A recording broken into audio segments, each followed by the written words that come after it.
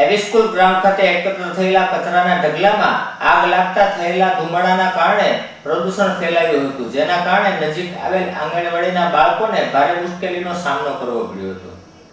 એવિસ્કુલ ગ્રાઉન્ડમાં ધનેશ મહેતા સ્કૂલની દિવાલ ફરતા નાખવામાં આવતા કચરામાં આગ લાગી હતી, જેના કારણે ધુમાડો થયો હતો અને નજીક આવેલ આંગણવાડીના રૂમ સુધી આ ધુમાડો પહોંચતા પ્રદૂષણને લઈ ભૂલકાઓને શ્વાસ લેવો મુશ્કેલ બન્યો હતો. આ બનાવ અંગે ફાયર બ્રિગેડને જાણ કરવામાં આવતા ફાયર બ્રિગેડના કર્મીઓ દોડી આવ્યા હતા અને પાણીનો છંટકાવ કરી આગને બુઝાવી હતી. તો મહાનગરપાલિકાના સત્તાધીશો આ જગ્યા ઉપરથી કચરો ઉપડવાની તસ્દી ઉઠાવે, નહીં તો ક્યારેક મોટો અકસ્માત ન કરશે તેવી લોકોમાં ચર્ચા સાંભળવા મળી હતી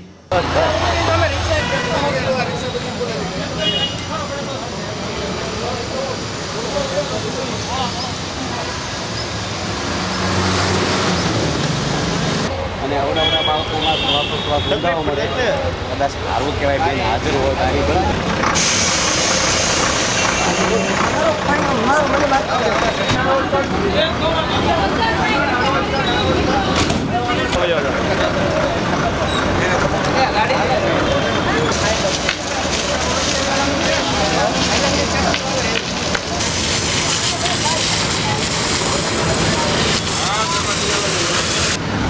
છે. ધનેશ મહેતા સ્કૂલમાં એકોતેર નંબર અને બાસઠ. નંબર બે આંગણવાડી આવેલી છે.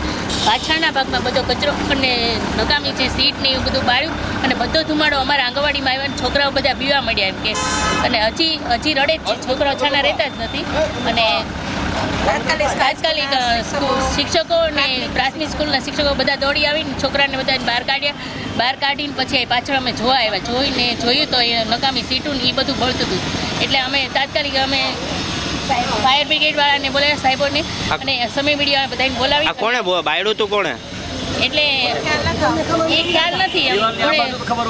દિવાલની પાછળ કોણે જગાવ્યું એ ખબર નથી પણ અહીં નકામો કચરો ને છે એટલે બાળકો અંદર અમારે આંગણવાડીમાં બધો ધુમાડો આવે.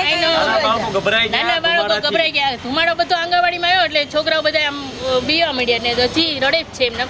રોજ બપોરના બાર ને ચાલીસ કલાકે ફાયર બ્રિગેડમાં ધનેશ મહેતા સ્કૂલમાંથી વર્દી આવેલ કે ધનેશ મહેતા સ્કૂલની દિવાલે એક કચરામાં આગ લાગેલ છે. જે સંદેશો મળતા ફાયર બ્રિગેડ સ્ટાફના ડ્રાઈવર ઘનશ્યામસિંહ ચુડાસમા, ફાયરમેન ગોવિંદસિંહ દિલીપભાઈ તેમજ વેરાવળથી આવેલ ટ્રેનિંગમાં વિદ્યાર્થીઓ અમુક ઘટના સ્થળે પહોંચી દિવાલ પાસે જે કચરો સળગતો હતો તેમાં આશરે અડધી ગાડી પાણી છાંટી અને આગ બુજાવી નાખેલ છે, જેમાં આગનું કારણ કે નુકસાની કંઈ જાણવા મળેલ નથી.